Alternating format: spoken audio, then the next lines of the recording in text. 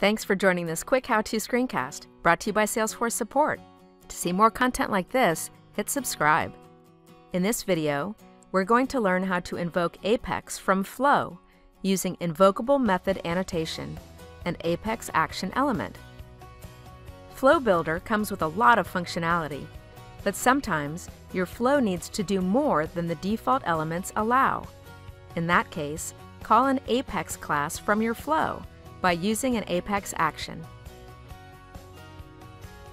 Apex classes are available as Apex actions once the methods are annotated with at invocable method.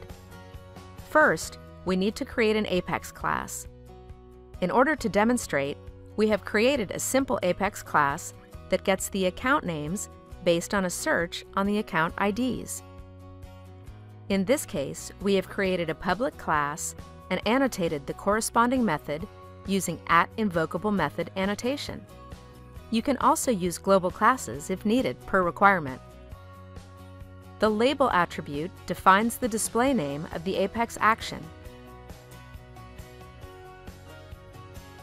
Please note that invocable method can have only one parameter.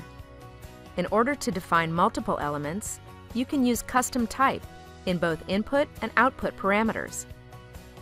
For more information about the at invocable variable annotation, please refer to this developer documentation. We've put a link in the short description of this video for you. Now, let's review our flow and see how to create an Apex action and invoke the Apex class.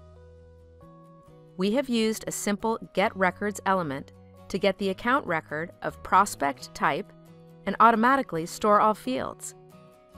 First, go to the Elements section and drag and drop an action. A new palette opens. Search for Get Account Names. As we review the dropdown, we see that the action name Get Account Names is the same as the label that we provided on the Apex class.